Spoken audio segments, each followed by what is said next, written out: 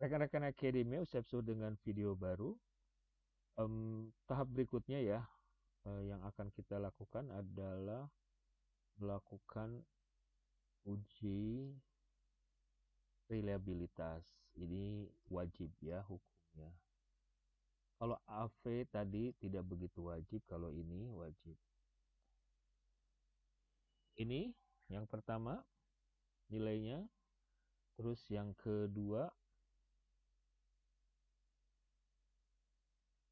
ya jadi untuk AT uh, eh, atau attention oke okay, semua. Nah, intention sebentar saya nggak hafal. Kenapa tadi? Karena banyak yang dibuang ya. Uh, berarti ada sembilan ada satu ada dua maaf guys kacamata saya berbayang ini dua ya I'm so sorry empat lima tujuh delapan benar gak ya kenapa tiba-tiba kacamata saya ini saya ganti kacamata tetap aja begini benar ya mudah-mudahan benar ini dua ya. Isip dua apa tiga? Oh my god.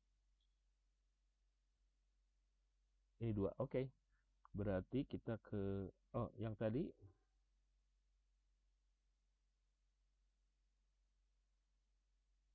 ya terus kemudian berikutnya adalah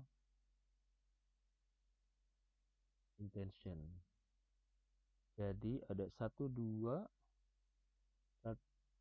satu dua lima empat sembilan tujuh tujuh delapan ya. Ini sebet uh, ini juga nggak wajib diklik sih kalau nilainya rendah baru diklik gitu loh. Ini yang kedua. Ya tadi yang pertama. Ini sebenarnya saya biasanya langsung saya ketik ya tapi the problem is I cannot see clearly. I don't know what's going on with my glasses. Okay. nah saya begini aja ya. Terus yang kedua tadi attention ya saya tulis dulu aja biar nggak lupa terus kemudian uh,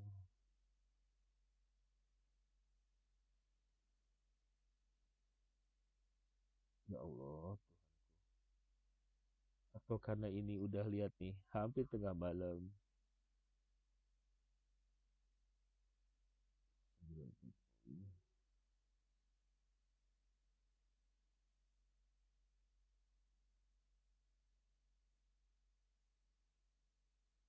Tadi ini yang kedua apa? Uh, intention ya.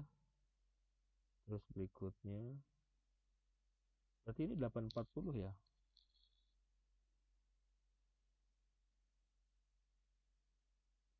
Yang ketiga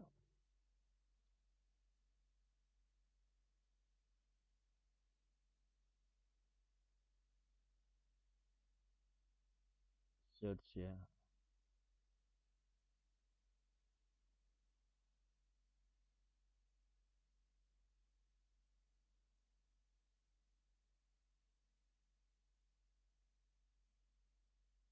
search. Terus kemudian habis search.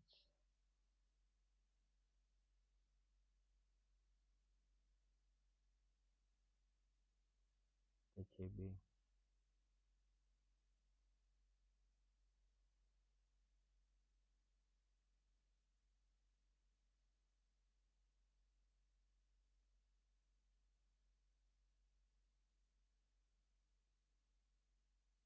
terus kemudian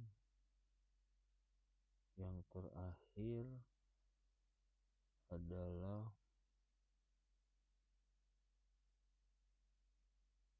share.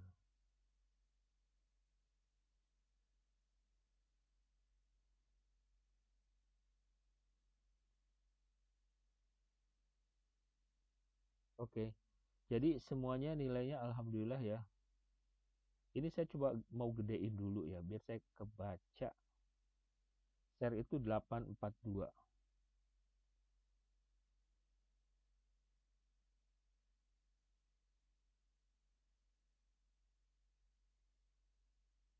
ECB itu mana mana mana? Eh, 806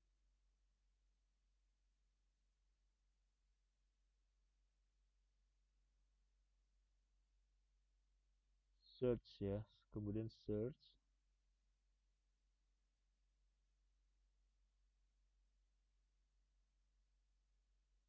delapan empat satu delapan empat puluh.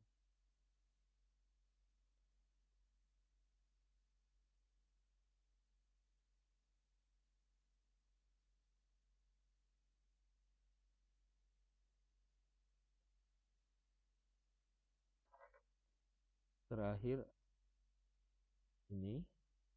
So guys dengan demikian 8.30 ya. Video kedua ini sudah selesai dan hasilnya ya eh, semua variabel memiliki dianggap reliable. AV-nya juga sudah oke okay, sudah dianggap layak semua.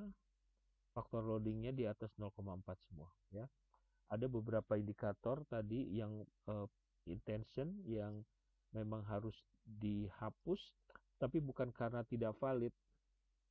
Tapi karena uh, menghasilkan ininya nilai apa AV-nya jadi rendah ya. Jadi tadi saya buang ada dua ada tiga yang dibuang ya. Begitu tadi cara mengakalinya.